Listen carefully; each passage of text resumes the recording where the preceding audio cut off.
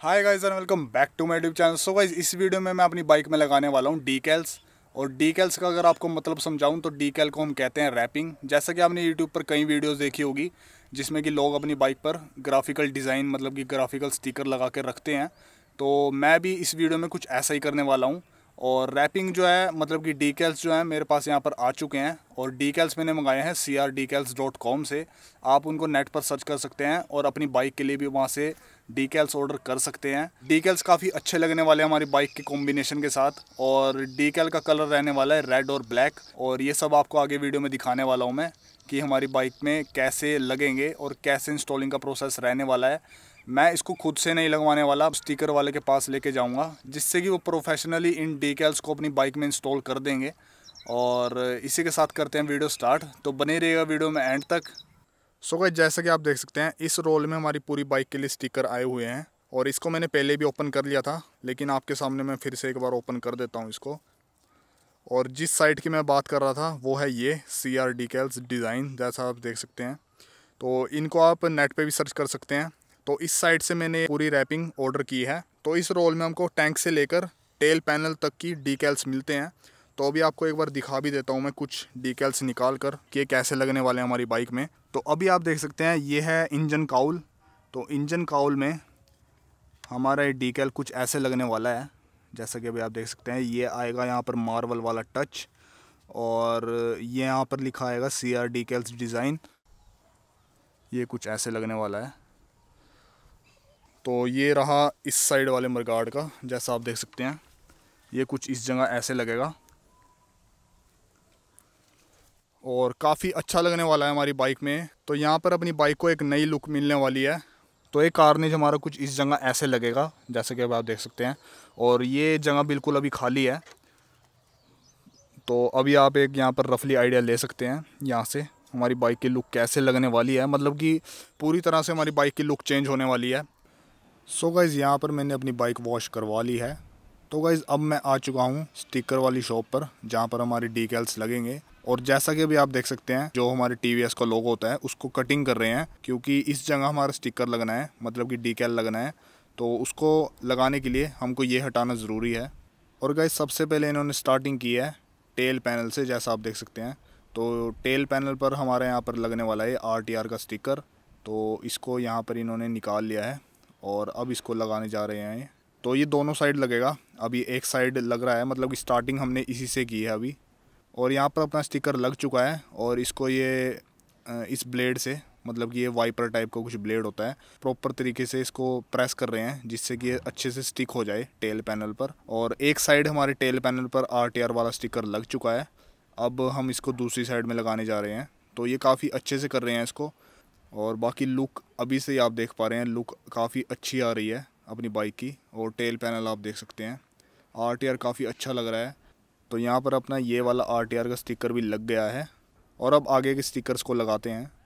और अब ये लगाने जा रहे हैं कारनेज जैसा कि मैंने आपको दिखाया था वीडियो की स्टार्टिंग में।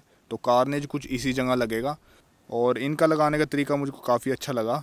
और जो लोग पोंटा साहिब से हैं, वो स्टैंडर्ड स्टिकर गैलरी को जानते होंगे। तो पोंटा साहिब की वो मशहूर शॉप है, जहाँ पर स्टिकर और बाइक आप मॉडिफिकेशन करवा सकते हैं। और एक साइड अपना कारनेज वाला स्टिकर लग चुका है। और वीडियो के कुछ पार्ट मैं टाइम लैप्स में रखूँगा, जिससे कि आप बोर ना हो और आपको थोड़ा जल्दी जल्दी दिखाई दे कि बाइक में क्या कुछ हो रहा है और कैसे कैसे चेंजेस आ रहे हैं।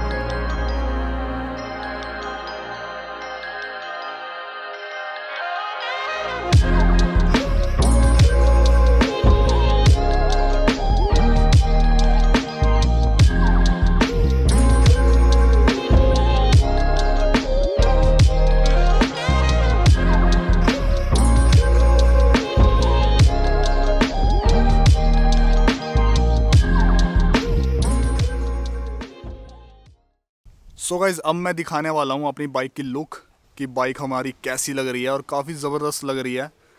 और लुक तो इसकी बिल्कुल चेंज ही हो चुकी है। मतलब कि पहचान में भी नहीं आ रही कि ये बाइक बिल्कुल वही थी। तो अब आप देख सकते हैं। कार्नेज और मार्वल का टच आप देख सकते हैं बाइक पर क्या ही लग रहा है। और यहाँ पर लिखा है C R decal designs R T R और एक बार आप साइड से लुक देख लीजिए। और आर टी आर भी आप देख सकते हैं। आर टी आर काफ़ी जच रहा है टेल पैनल पर।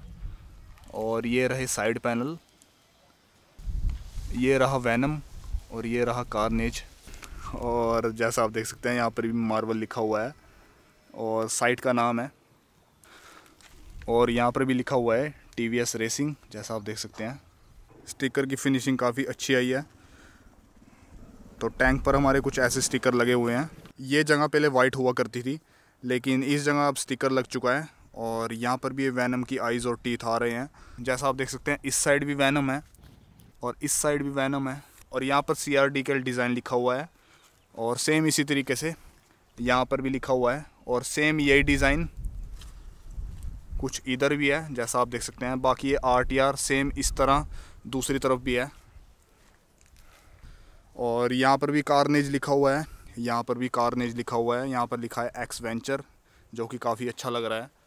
और नीचे अगर मैं इंजन का ऑल दिखाऊँ तो आप देख सकते हैं यहाँ पर लिखा है मार्वल और यहाँ पर भी लिखा है एक्स वेंचर और दो स्टिकर मरगाड पर भी लगे हुए हैं, जिसकी लुक काफ़ी अच्छी आ रही है मरगाड पर। और सेम इसी तरीके से कुछ इस जगह भी है। वाइज़र की अगर मैं बात करूँ तो दो स्ट्रिप कुछ हमको यहाँ पर ऐसी मिलती है, जैसा आप देख सकते हैं। ये लगी हुई है। और यहाँ पर लिखा है आर टी आर यहाँ पर लिखा है सी आर डी कैल डिज़ाइंस जो कि इनका साइट का नाम है, और आप सर्च कर सकते हैं इसको। और अगर मैं पीसीस की बात करूँ तो ये टैंक पर एक पूरा पीस नहीं लगा हुआ है। ये सारे पीस अलग हैं मतलब जैसा आप देख सकते हैं कार्नेज वाला पीस अलग है, और यहाँ पर जो ये स्ट्रिप लगी हुई है, ये पूरा अलग है मतलब ऊपर वाला पोर्शन अलग है। और कार्नेज से जो नीचे वाला पोर्शन लगा हुआ है, जो कि ये है, ये भी पोर्शन अलग है। तो सारे स्टिकर ये बिल्कुल अलग हैं और जो इसके अंदर लगे हुए थे आ, मतलब कि यहाँ पर एक रेसिंग स्ट्रिप वाला स्टिकर होता है वो मैंने नहीं हटवाए। यहाँ पर लिखा होता है हाइपर एज तो वो वाले स्टिकर मैंने नहीं हटवाए क्योंकि बाई चांस कभी ये रैप ख़राब भी होने लगा तो हमारे स्टिकर से छेड़छाड़ नहीं होगी जो इसमें स्टॉक वाले लगे हुए हैं। और स्टॉक वाले भी स्टिकर काफ़ी अच्छे लगते हैं बाइक पर लगे हुए जो कि अपाचे में आते हैं। जो स्टॉक वाले थे वो मैंने वैसे ही रहने दिए उनके ऊपर ही ये रैप लगवाया है। और फिर भी आप देख सकते हैं कुछ पता भी नहीं लग रहा।